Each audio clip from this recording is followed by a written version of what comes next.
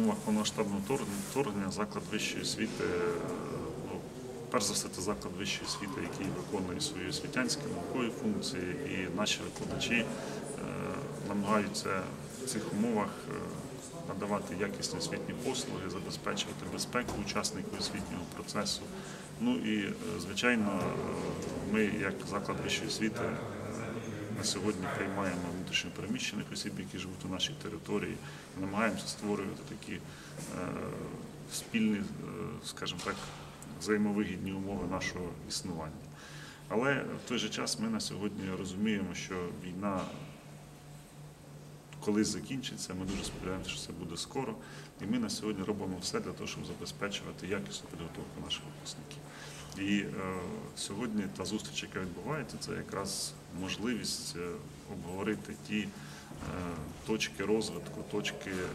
забезпечення розвитку якості освіти і знайти, скажімо так, ті передовий досвід, який існує сьогодні і в закладах вищої освіти України, і в закладах вищої освіти світу, чітко розуміти вимоги на сьогодні Національної агенції забезпечення якості освіти щодо критеріїв оцінки якості під час акредитаційних експертиз, оскільки ну, ми